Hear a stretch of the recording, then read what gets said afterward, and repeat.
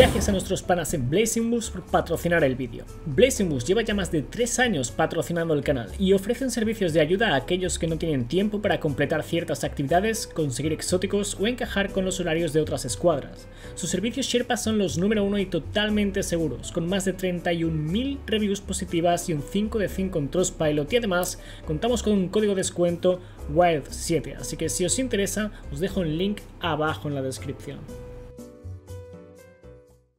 Bendiciones, vamos a hablar sobre el desarrollo de la historia. Si no has jugado todavía la historia de esta semana, hazlo.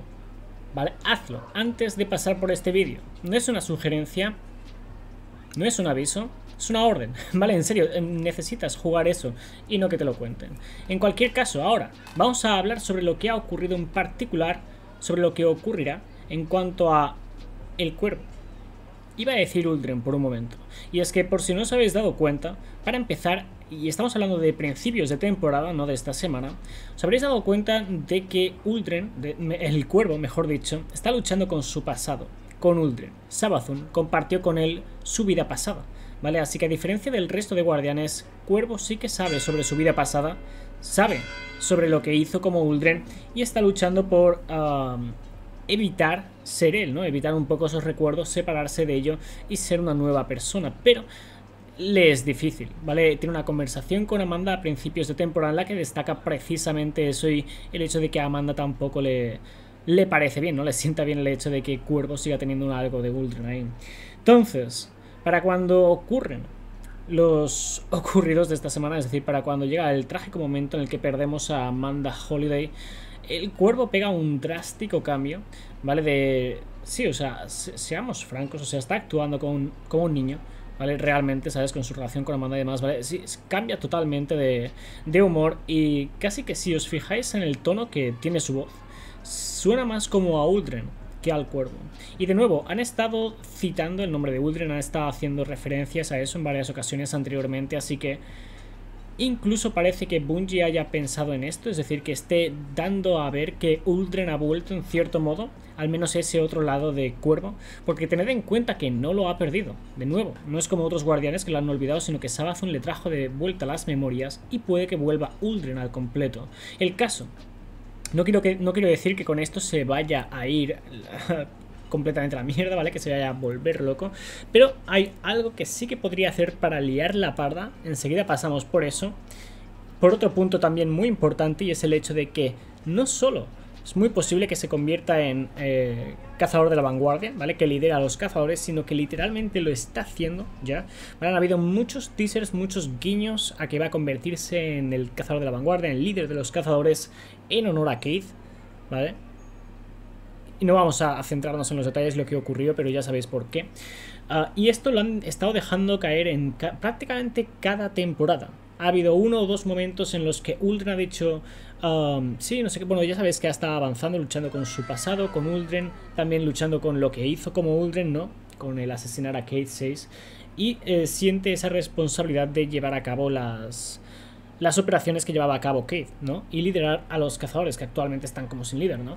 Pero como os digo, no es el caso realmente. O sea, si os paráis a, a prestar atención a los diálogos actuales de campos de batalla, escucharéis a Uldren dándole órdenes a cazadores, a los cuales llama mis cazadores ahora no recuerdo la frase exacta y es uno de esos diálogos que lamentablemente no he podido grabar, ni los he encontrado por ahí, parece que nadie ha subido ese diálogo, pero si jugáis campos de batalla actualmente, después de jugar la historia esta semana, podréis escuchar al cuervo dándole órdenes a otra serie de, de cazadores, además de escuchar una serie de comentarios de cuervo que como os digo, suenan mucho más a Uldren que al cuervo, ¿vale? Y ahora, en cuanto al Uldren, ¿no? Digamos que vuelve Uldren, no que se completa al 100%, ¿vale? Que tenemos a Cuervo, ¿no? Pero que también es Uldren, no al 100%, es decir, ha recordado todo lo que significaba ser Uldren, pero eso no significa que tenga que ser precisamente malo, ¿vale? Algo importante de cara a, lo que era Uldren anteriormente era, una marioneta, ¿vale?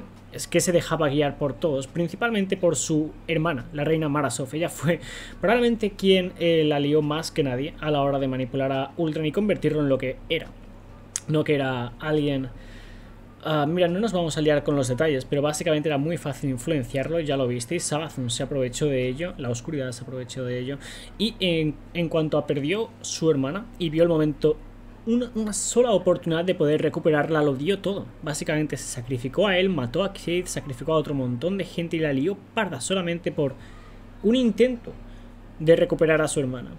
Sin siquiera estar seguro. Básicamente lo dio todo por ella. Y ahora que ha perdido a Amanda Holiday y que tiene los recuerdos de Uldren, creo que no hace falta que me extienda mucho más para explicar que eso es un peligro. En cualquier caso, no es solo Uldren, ¿vale? Es Cuervo también y está con nosotros. Creo que puede llegar a controlarse y creo que de hecho esto es un punto muy importante de cara al desarrollo de Cuervo, ¿vale? Para convertirse en un buen líder de la vanguardia, de los cazadores de la vanguardia.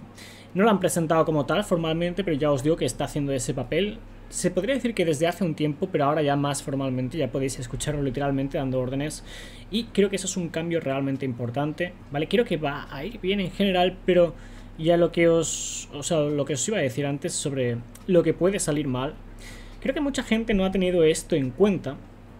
Pero cuando Amanda vuelva como guardiana, y estoy bastante seguro de que lo hará, ya haré otro vídeo hablando sobre ello y sobre lo que opino sobre Amanda, vamos a centrarnos en Cuerva ahora, cuando vuelva, que estoy bastante seguro de que lo hará, uno de los grandes problemas es que no va a ser ella, ¿vale? Va a olvidar completamente su vida antes de ser guardiana, antes de ser revivida.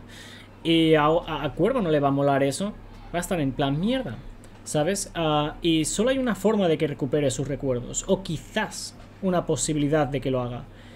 Y esa es Sabathun.